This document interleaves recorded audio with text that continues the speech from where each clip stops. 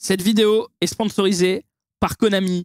Bonjour à tous, c'est Zoul. Aujourd'hui, on va ouvrir Héritage de la Destruction, la nouvelle display Yu-Gi-Oh! qui sort le 25 avril. Et vous allez le voir sous couvert de display avec des cartes de l'animé à l'image de Gandora qui revient sous une nouvelle forme avec les magiciens ou spadassin silencieux, je sais plus, on va voir ça dans quelques instants.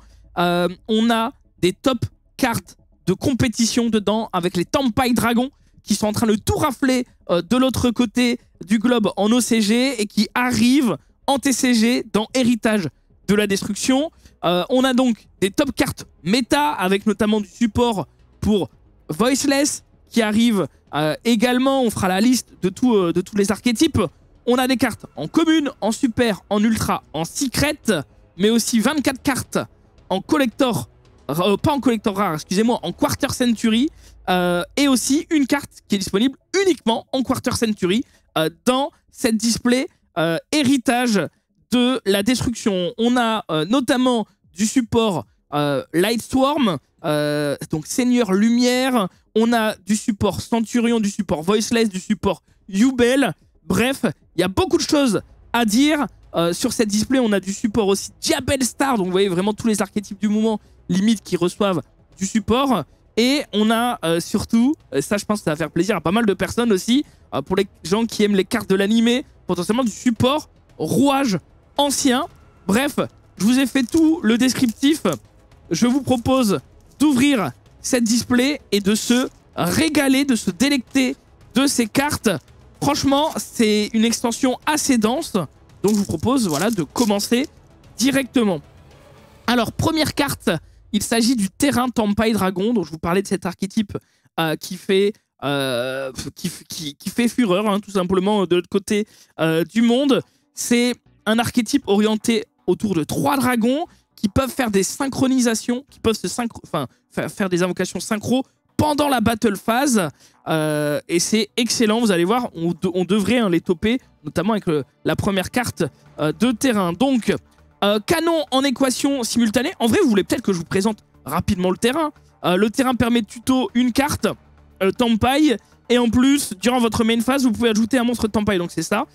puis vous pouvez défausser un, et vous ne pouvez laisser les effets qu'une fois par tour de ce terrain. Si cette carte est détruite durant la battle, vous pouvez cibler un monstre synchro dragon que vous contrôlez, doubler son attaque. Et notamment dans la combo du deck Tampai Dragon, vous avez un monstre à 3000, une synchro à 3000 qui tape 3 fois, et vous pouvez doubler euh, donc son attaque avec l'invocation euh, sans gêne ou sans gain, je sais pas comment on dit.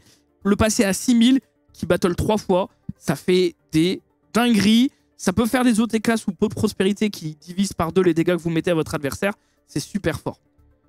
Canon en équation simultanée. On va bien sûr aller plus vite hein, sur les communes. Je rappelle que vous pouvez faire pause si jamais vous voulez euh, lire des cartes qu'on aurait, qu'on aurait passées. Intéressant quand même. du support aussi pour Vedos euh, le dragon, éruption de l'extinction. Très intéressant ça. Hein. Très intéressant. C'est du support pour, euh, pour cendrer, si je dis pas de bêtises. Euh, durant la main phase, vous pouvez invoquer spécialement un monstre fusion pyro depuis votre extra deck en utilisant des monstres depuis au moins l'un des terrains comme matériel. Si vous le faites, il gagne ça son attaque. Ok, il y a vraiment trop de trucs. Il y a vraiment trop de trucs. On a 100 cartes différentes et voici justement le petit Vedos, le dragon des ténèbres infinies, euh, qui demande Vedos, le dragon éruption de l'extinction, plus deux monstres pyro de max niveau 9. Ok, donc ça veut dire que des cartes pyro, il y en a pas mal. On sait que les Tampai dragons sont pas pyro, ils sont dragons.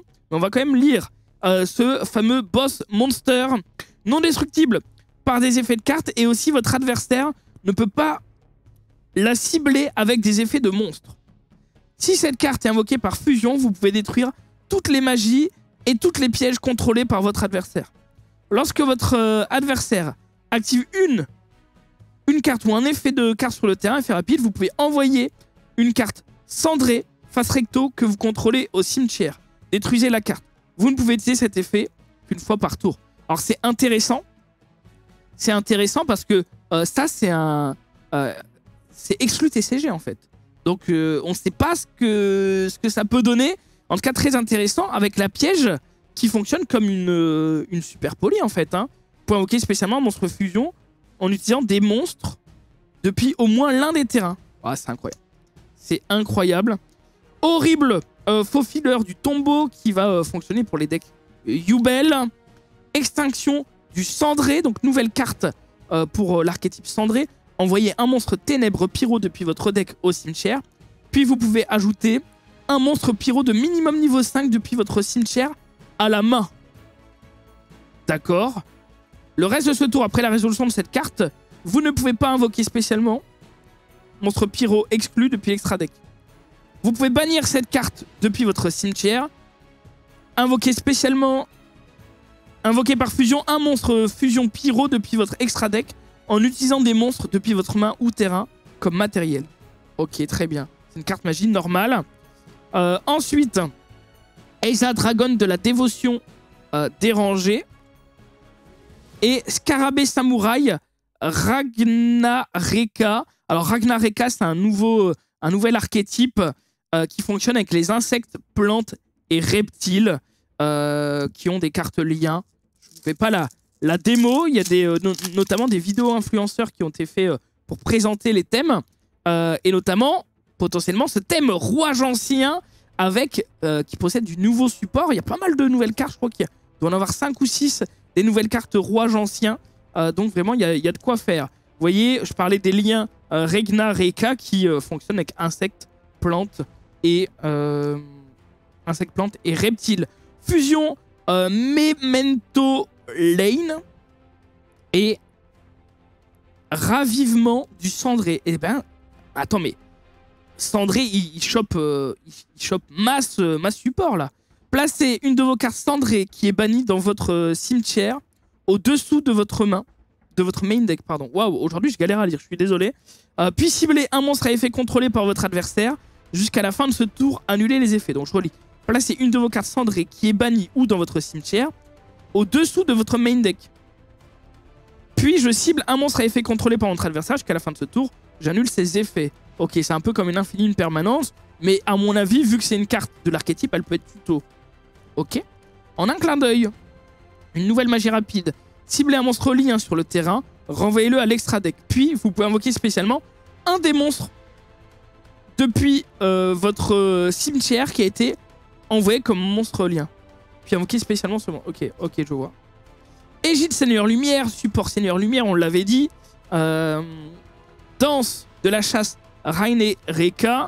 Et le dino Vatus Docus, qui est un dino qui peut se spécifier si tu contrôles deux monstres dino euh, sur ton terrain et en plus qui a la faculté de, de spé depuis ton deck, je crois, un dino qui a euh, deux niveaux au-dessus ou deux niveaux en dessous de, du monstre sacrifié. Bref. Euh, du Reina Reika, euh, Basha la Mastreya de la musique, pour un nouvel archétype musique, Cendre de l'infini, donc c'est la fameuse euh, super poly, Canon en équation simultanée, Bénédiction de la sans voix. Voici le nouveau support sans voix. Sans voix, donc Voiceless Voice en anglais, qui est un des top decks compétitifs et qui va récupérer, je crois, deux cartes de support, une rituelle et une magie continue. euh, ce qui est plutôt une bonne chose pour, euh, pour le deck. Du Gobelin Motard, du Lézard Cuirassé Reka et euh, le fameux petit tankiste roi ancien. Alors lui, je sais pas comment il voit à travers sa moto de pierre, parce que son pare-brise c'est en pierre, bon, il y a peut-être un petit trou là pour voir, mais bref, compliqué pour lui en tout cas. Nouveau support, donc roi ancien, il y a un gros boss monster aussi euh, qui arrive, des nouvelles magies, des nouvelles pièges. Euh, ça devrait faire plaisir euh, aux puristes de roi ancien. Et nous, on va essayer d'avancer et de choper de la rareté, notamment dans cette display. Si une ou plusieurs cartes dans les pas de papa exclus sont envoyées au cimetière, bannissez-les face verso, bannissez, bannissez face verso, maximum 5 cartes depuis votre cimetière, puis si minimum 7 de vos cartes sont actuellement bannies face verso, votre adversaire bannit face verso autant de cartes que possible depuis son cimetière. Ok, bon, c'est une carte qui fonctionne avec pot, de, pot des désirs. Ça n'a pas l'air euh, foufou non plus. Euh, Valmonica Invitar. C'est pour euh, l'archétype Valmonica. braise rafraîchissante qui fait penser à un monstre rétro, je crois, hein, qui avait à peu près la même tête. En gros, si ton monstre, si ton adversaire gagne des points de vie, je crois que tu peux invoquer spécialement cette carte. Et si il gagne encore des points de vie, les deux joueurs gagnent 1000 points, c'est ça. Ah, Dragon Biden Sengenpai, la petite synchro à deux têtes. pour Tampai Dragon, il y a aussi une synchro à trois têtes. Alors, qui est une commune, hein, qui est une commune, euh, c'est plutôt, plutôt intéressant. On va quand même la lire. Il faut un synthoniseur dragon et un monstre non synthoniseur dragon. Donc ça se fait qu'avec des dragons. Euh, si cette carte est invoquée par synchronisation, vous pouvez cibler un monstre feu dragon depuis votre cimetière et invoquer-le spécialement. Et aussi, vous ne pouvez pas invoquer spécialement de monstre dragon exclu le reste de ce tour. Donc ça te lock en dragon. Si minimum 3 attaques ont été déclarées ce tour, ce qui va souvent être le cas avec euh, les, les, les Tampai Dragons. Donc à mon avis, ça se dit Sengenpai en, en, français. C'est qu'ils vont avoir des effets quand ils vont battle et ils vont pouvoir euh, déclencher leurs effets. Donc le, deuxième effet va souvent pouvoir être déclenché. On va le lire. Si minimum 3 attaques ont été déclarées ce tour, effet rapide, vous pouvez invoquer spécialement cette carte depuis votre cimetière. Vous pouvez détruire une magie ou piège sur le terrain. Euh, donc là, tu détruis la magie euh, de... Hop là, la magie de terrain tu détruis celle-là et tu peux doubler euh, les valeurs euh, d'attaque euh, d'un de tes monstres. Voilà, vous ne pouvez utiliser cet effet qu'une fois par tour. Donc c'est assez simple, mais vraiment le deck va faire des, miracles. Je vous le dis justement, en parlant de miracles, on va parler des silencieux monstres de l'animé monstre de Yugi. Ciblez un monstre face recto que vous contrôlez, augmentez son niveau de 3. Et aussi, si vous avez activé cette carte en réponse à l'activation d'effets de monstre de votre adversaire, Tant que vous contrôlez un sarcophage brillant euh, et un monstre qui le mentionne, annulez l'effet de l'adversaire. Durant le calcul des dommages, si votre monstre qui mentionne sarcophage brillant combat, vous pouvez bannir cette carte depuis votre cimetière et terminer la battle phase. Sarcophage brillant, un petit peu comme le sarcophage, euh, euh, pas doré, mais le sarcophage du roi utilisé pour Russe, qui a une magie continue qui va vous permettre de spé vos monstres et en plus de gêner un peu votre adversaire. On espère le toper. Oh, Cyclops Cyclos, le farfadet circulaire qui a fait beaucoup parler de lui quand il a été annoncé, notamment parce que c'est un synthoniseur qui permet, quand il est invoqué normalement ou spé, de défausser une carte et d'ajouter un synthoniseur insecte ou plante depuis son deck à sa main. Et aussi, si un monstre, si un ou plusieurs monstres synchro insectes ou plantes sont invoqués spécialement, tant que cette carte est dans le cimetière, tu peux la respect. Donc vraiment une carte clé. Encore une fois, en commune, c'est vraiment bien. Donc euh, top top top, en tout cas de support plante. Je sais pas s'ils en avaient besoin, mais ils en ont en tout cas. Euh, Eiza la dragonne, danse de chasse Regnerica, butin du péché euh, du sommeil Morian, donc support pour butin du péché, euh, donc Diabel Star, tout ça. Cible un, de, un monstre face recto invoqué spécialement sur le terrain, changer la position de défense face verso. Si vous contrôlez un monstre illusion de minimum niveau 5, tant que cette carte et dans votre cimetière, vous pouvez poser cette carte. Mais bannissez-la lorsqu'elle quitte le terrain. Vous allez voir, on aura pas mal de supports, euh, de support illusion dans cette extension. Alors, si jamais on les, on les chope. Hein. Alors, de nouveau, le terrain euh, Tempai, du coup. Résident de la jungle. Waouh, c'est quoi cette carte? Elle est niveau 8. Démon. Et elle a un sacré texte. Euh, non invocable ni posable, uniquement invocable spécialement par effet. Tant qu'il y a deux monstres dans la zone terrain, deux cartes dans les zones terrain, pardon, votre adversaire ne peut pas cibler cette carte avec des effets. Vous pouvez utiliser chacun des effets de résumé qu'une fois par tour, ok. Vous pouvez bannir un monstre lumière ou ténèbres depuis votre cimetière, invoquer spécialement cette carte depuis votre main. Donc c'est pas un effet rapide.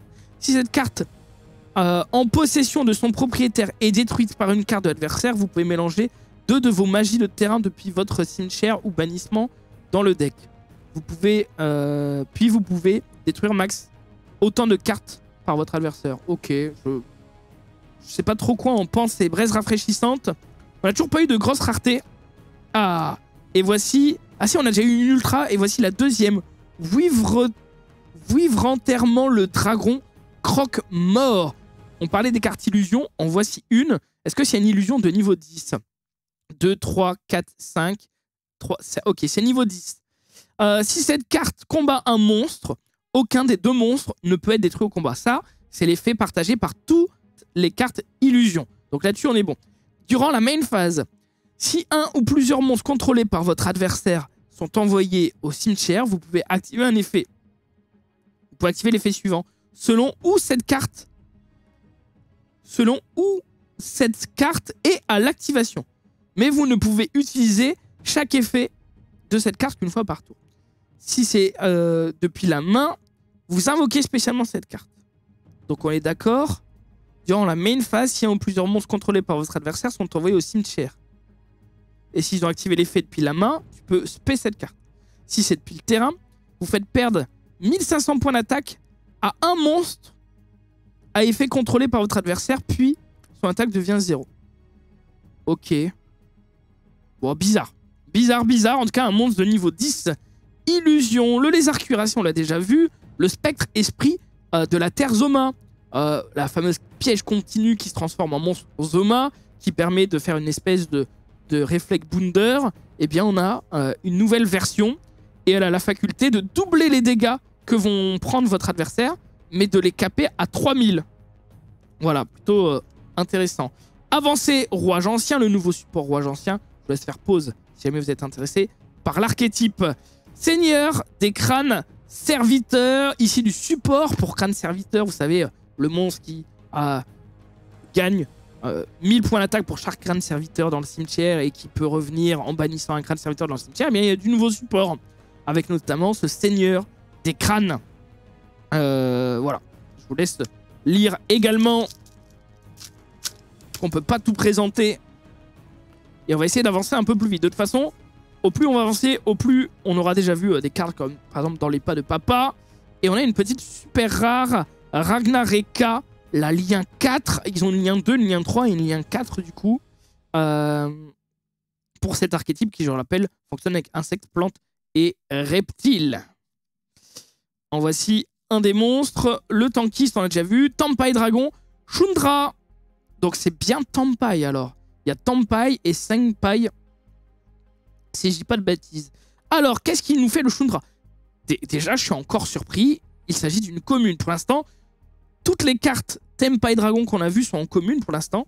Euh, J'ai pas d'idée des autres raretés, mais tant mieux. Une fois par tour, durant la battle phase, vous pouvez, effet rapide, immédiatement après la résolution de cet effet invoqué par synchronisation, en, utilisant cette carte que vous contrôlez. Vous ne pouvez utiliser chacun des effets de Tenpai, Dragon Shundra qu'une fois par tour. Si vous contrôlez un monstre feu dragon, vous pouvez invoquer spécialement cette carte depuis votre main. Au début de la damage step, si un monstre dragon euh, combat, vous pouvez invoquer spécialement un monstre dragon feu de niveau 4 depuis votre deck. C'est hallucinant. C'est hallucinant. Donc, elle spé un dragon, feu depuis le deck. Elle permet de faire une synchro quand elle, battle. Euh, c'est fou. C'est fou, c'est fou. Le Cyclos qu'on a euh, déjà vu également. Allez, vraiment, je vais aller plus vite. On a déjà vu euh, pas mal de choses. Oh, attendez, attendez. Lézardose exténuée. Un reptile. Il demande deux monstres de noms différents, donc c'est assez générique. On va quand même le lire. Vous pouvez bannir un monstre depuis votre terrain face recto ou cimetière avec max 2000 d'attaque, puis cibler un monstre face recto sur le terrain faites devenir son attaque égale à l'attaque d'origine du monstre banni pour activer cet effet. Donc c'est jusqu'à la fin de ce tour. Puis, si vous avez banni un monstre qui était reptile à l'origine, piochez une carte. Ok. Ça peut être pas mal. Hein. Ça peut être pas mal. À savoir que c'est une lien 2, générique. À voir. Euh, le fameux double tête. Synchro qu'on a déjà vu. Memento Lane. Euh, archétype de la musique. Et Tampai Dragon, Pedra. Il s'agit d'une super... Alors, lui, il est niveau 3. Par contre, le traité niveau 4. Si cette carte est invoquée normalement ou spécialement, vous pouvez ajouter à votre main ou poser une magie piège Sengen depuis votre deck. Vous ne pouvez utiliser cet effet qu'une fois par tour. Vous recevez aucun dommage de combat impliquant euh, vos monstres feu dragon. Une fois par tour, durant la battle phase, vous pouvez, effet rapide, immédiatement après la résolution, invoquer par synchronisation en utilisant cette carte que vous contrôlez. C'est intéressant son effet de ne pas prendre des dégâts, parce que euh, les Tempai, vous avez vu, pour activer certains effets, ils sont obligés de battle. Donc son deuxième effet est quand même plutôt intéressant. Euh, Poser une magie ou piège, Sengai, ça l'est également. Du Gobelin Motard, Égide. Ok, on avance. On n'a toujours pas eu de Quarter Century. On n'a toujours pas eu de Secret. On a eu deux Ultras, pardon. Par contre. Double Day. Activez un de ses effets. Si vous ne contrôlez aucun monstre, invoquez spécialement un monstre guerrier de niveau 4 depuis votre deck. Euh, ou alors, tu cibles un monstre guerrier que tu contrôles et tu invoques spécialement un monstre terre guerrier d'un niveau différent, inférieur ou égal depuis le deck ou cimetière. Ok, bon, ce sera certainement assez peu utilisé. Euh, Sengai, sen, gêne, sans gêne, sans, Sangen, je sais pas, dites-moi comment vous l'appelez les frères, j'ai pas d'idée. Kemen, la magie rapide, appliquez un de ses effets, ou si vous activez euh, cette carte durant la battle phase, vous pouvez appliquer les deux, euh, mais dans l'ordre. Ajoutez un monstre feu dragon de max niveau 4 depuis votre deck à votre main, et le deuxième effet, invoquer spécialement un monstre dragon feu depuis euh, ta main. Donc vraiment, ça peut jouer pendant la battle, c'est la faculté de Sengai, et de, de Tampai aussi. Golgoy, le fracasseur d'acier sismique. Un monstre de niveau 10. Si je dis pas de bêtises. Cette carte... Ah oui, c'est un monstre illusion de niveau 10. Euh, donc, vous ne pouvez tirer chacun des effets qu'une fois par tour. Après le calcul des dommages, si votre monstre machine ou illusion combat a combattu, vous pouvez cibler un de vos monstres bannis ou dans votre cimetière, invoquer spécialement cette carte. Cette carte est bannie depuis votre terrain, vous pouvez l'invoquer spécialement. Le tour silencieux qu'on a déjà vu, le refrain Centurion Gargouille 2, le petit support euh, pour Centurion en commune. Eh bien, eh bien. Et le commandant Rouage Ancien, support Rouage Ancien en commune également. Beaucoup de cartes, hein. extension très très dense. Euh, une nouvelle carte Illusion, je vous laisse faire pause. Et Fadra, Fadra en commune. Fadra en commune, donc on a les trois cartes clés de Tanpai Dragon qui sont communes, communes, super. La magie rapide, elle est commune. Waouh.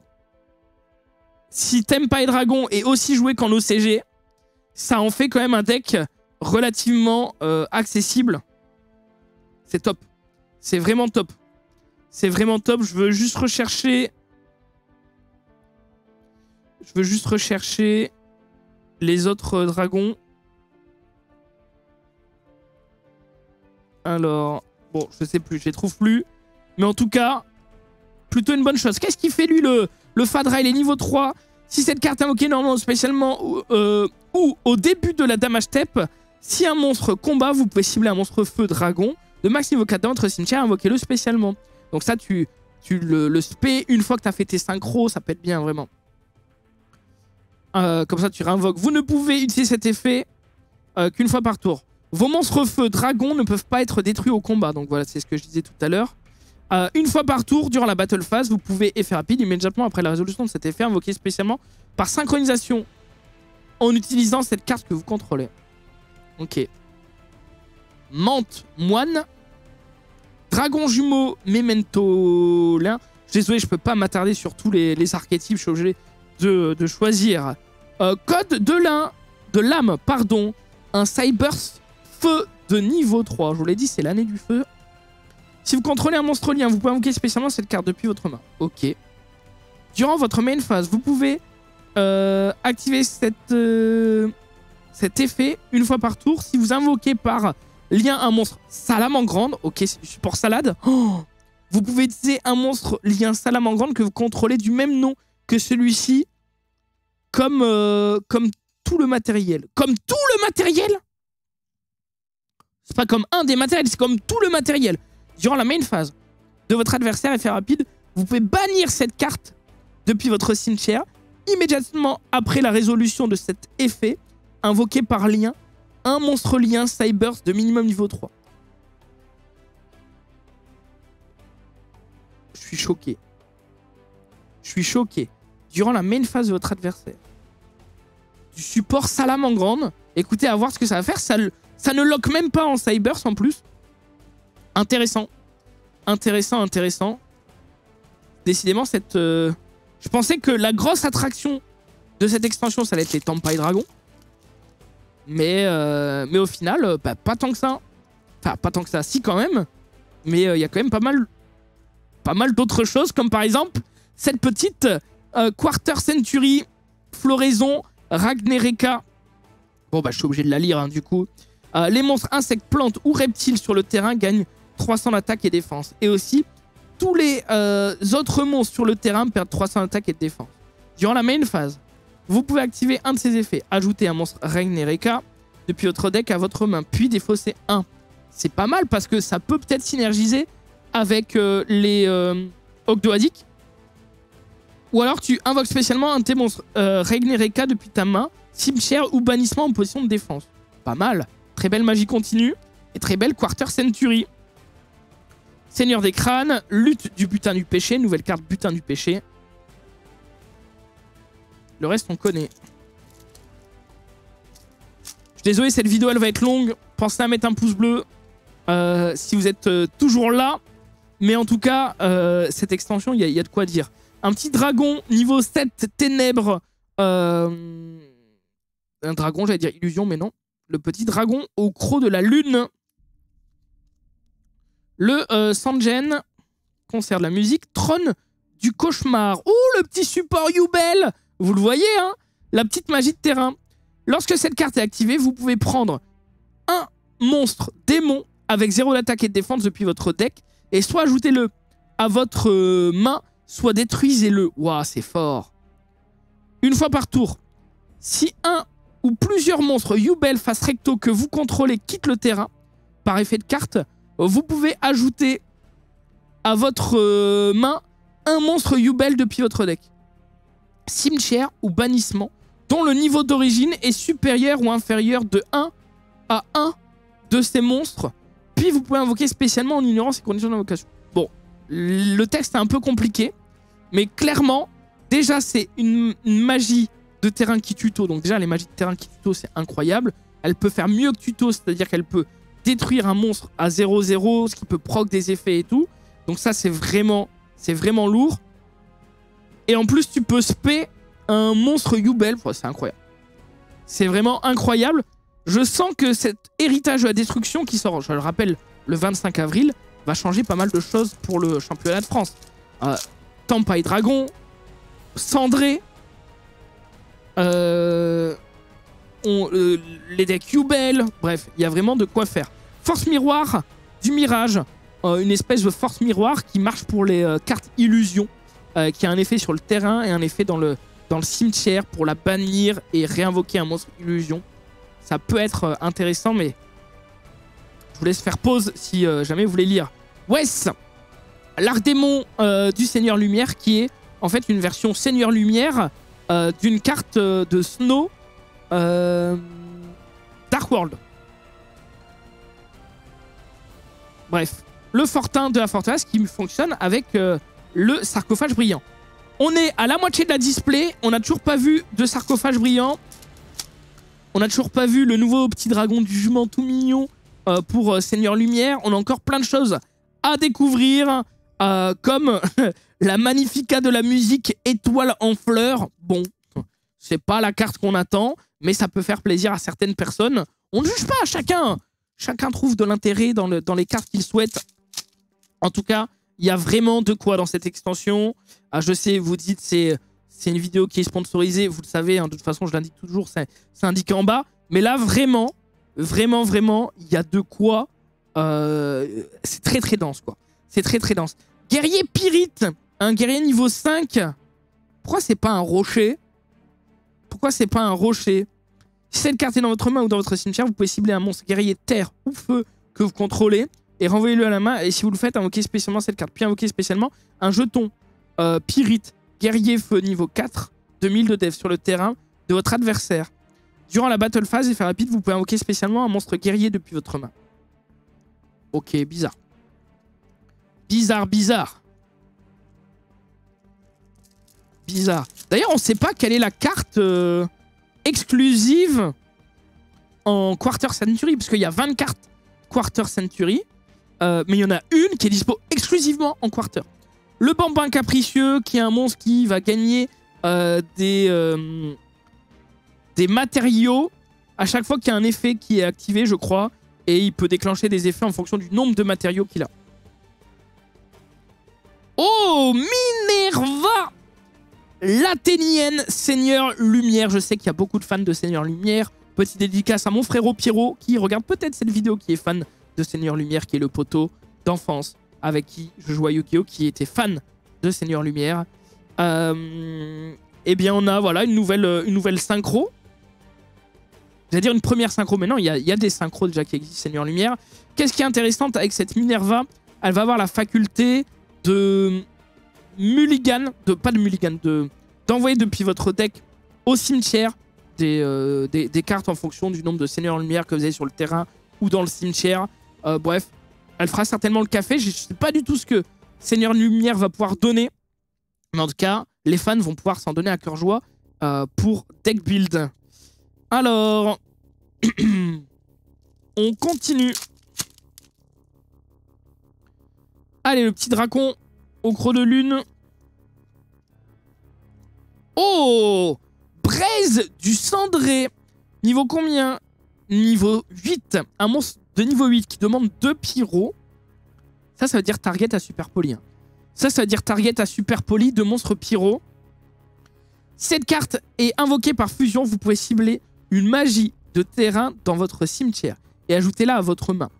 Au début de la damage step, si cette carte combat un monstre pyro de l'adversaire, vous pouvez détruire le monstre de l'adversaire.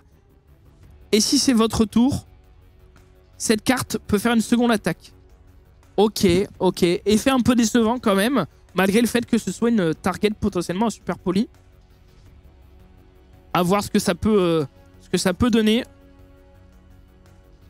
Allez, on poursuit. Déjà 30 minutes de, de vidéo, mais il y a tellement à dire. Et encore, je n'ai pas parlé de Memento. Euh, je, peux pas tout évoquer. J'ai très peu parlé de Reinereka. Ok, euh, du petit gobelin motard. Troïka grillé. Oh, c'est de plus en plus dur à dire les noms, c'est infâme. s'il vous plaît, Konami, faites des noms courts et concis, s'il vous plaît. Bon, motard gobelin qui, euh, qui a la faculté de détacher des matériaux sur les autres cartes Xyz. Qui est en fait un deck anti-Xyz, quoi. Si je dis pas de bêtises, bien évidemment. Alors, Oh yes Verudra, le dernier rapporteur de la fin des temps. Pourquoi je dis yes? Simplement parce que c'est la, euh, c'est la Xyz 10 euh, que je vous évoquais en début de vidéo. Vous savez que j'adore les decks de niveau 10 avec les dieux égyptiens, tout ça et tout. Donc, euh, bah pourquoi pas? Pourquoi pas? 3000, 3000, c'est une belle bête. Lorsque votre adversaire active une carte ou un effet, vous pouvez détacher un matériel et annuler l'activation. Puis vous pouvez détacher un matériel de... Euh... Attendez. Quand votre adversaire active un effet, vous pouvez détacher un matériel de cette carte, annuler l'activation, puis vous pouvez détacher un matériel de cette carte, puis détruisez une carte sur le terrain. Waouh. Ça annule et ça, ça fait potentiellement annule plus détruit. Ça dépend ce que tu veux. Euh, au début de la damage step, si cette carte attaque, tant qu'elle a du matériel, vous pouvez détruire une carte sur le terrain. Ok, waouh. Waouh, c'est fort. Si cette carte est invoquée par X6 et détruite, vous pouvez détruire une carte sur le terrain. Vous ne pouvez utiliser chacun des effets qu'une fois par tour. Eh bah, très bonne carte. Très bonne carte. Hâte de pouvoir deck build avec ça. Et la tester en duel, pardon. Centurion. Allez, il nous reste 7 boosters, je crois. Si j'ai bien compté. Vraiment beaucoup de, choses à voir. Fierté d'or, éliminateur, une nouvelle niveau 5, Sainto pour Fierté d'or. Le dino, le temps paille. Et on avance. Ok, le duel roi ancien qu'on a déjà vu. Dragon de la révélation. Oh là là, la petite fusion entre dragon du jugement et dragon du châtiment. Donc il s'agit ici du support euh, Seigneur Lumière uniquement invocable depuis votre extra deck.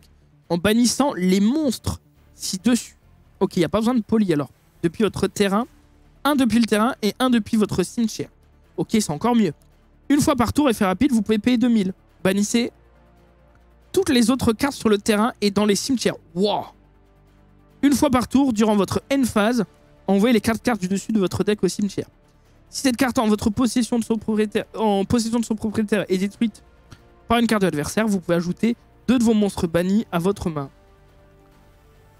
Un dragon du jugement et un dragon du châtiment. Puis, vous pouvez invoquer spécialement les deux. En... Sacrée carte. Oh, oh, oh. Carte. Waouh. Sacré support pour, euh, euh, pour Seigneur Lumière. Ça, c'est du boss monster quand même. Hein. Le boss monster, il arrive, il s'invoque de lui-même. Ensuite, il rase tout sur le terrain et dans les cimetières. Et ensuite, s'il se fait gérer, euh, tu récupères ou tu réinvoques, je sais plus, deux boss monsters. C'est impressionnant. C'est vraiment impressionnant. Allez, il me reste trois boosters. N'hésitez pas à mettre votre pouce bleu sur cette euh, vidéo. Encore une fois, merci à Konami de me laisser l'opportunité de, vous présenter ces cartes en avant-première. J'essaie de, vous les présenter au mieux. Et on, on a eu qu'une secret. Une quarter. Et du coup, voilà la deuxième secret. Gandora. Gandora G, le dragon de la destruction. Qui fonctionne du coup avec le petit euh, sarcophage brillant. Gagne 300 attaques pour chaque carte bannie. Vous ne pouvez euh, utiliser chacun des effets suivants qu'une fois par tour. Si vous contrôlez sarcophage brillant, vous pouvez invoquer spécialement cette carte depuis votre main. Vous pouvez payer la moitié de vos LP. Détruisez autant de cartes sur le terrain que possible. Et si vous le faites, bannissez-les.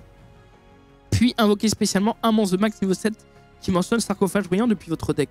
Et augmentez son niveau du nombre de cartes détruites. C'est incroyable. La carte, elle est incroyable. La carte, elle est incroyable. Moi, j'étais à la mode, c'est une carte du dessin animé. Ça va pas être foufou. Mon cul, ouais. Elle arrive, elle détruit et elle bannit tout. Elle gagne des stats pour chaque carte bannie. En plus, elle va se payer un autre monstre depuis le deck. Impressionnant. Impressionnant. J'ai hâte de voir ce qui, est faisable avec, euh, avec cette petite carte du Tampai Dragon. De booster. Et eh ben vraiment, on aura eu pas mal de réussite. On n'aura pas vu le sarcophage brillant. Donc on peut suspecter que c'est une carte en rareté. Ultra ou secret. Mais on peut pas en être sûr. Le chevalier Pyrite. Je crois que je crois qu'on aura, euh, aura vu pas mal de choses quand même. Hein. On aura vu pas mal de choses. Dernier booster. Tour silencieux qu'on a déjà vu plusieurs fois. Euh, qui fonctionne avec le sarcophage brillant. Bref, j'espère que cette vidéo vous aura plu. Encore une fois, mettez un pouce bleu euh, et dites-moi ce que vous en pensez dans l'espace commentaire. On se donne rendez-vous très bientôt. Et puis, une bonne journée à vous. Au revoir. Ou plutôt, au revoir.